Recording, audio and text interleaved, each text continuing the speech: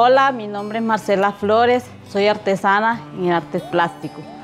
Eh, vengo de los Córdobas. Como ustedes pueden ver, mi emprendimiento se llama Las Flores. Estas florecitas que ven aquí se llaman polités. Y este es tarro de gaseosas, todo lo que se llama plástico. Esto lo utilizo yo para hacer mi trabajo. Pero para mí es un material muy importante. ¿Por qué? Porque es un material fácil para yo conseguirlo, para yo trabajar.